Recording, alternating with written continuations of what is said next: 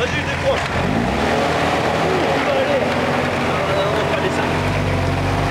Tu vas un petit sourire. C'est bon, attends, attends. Tu vas aller où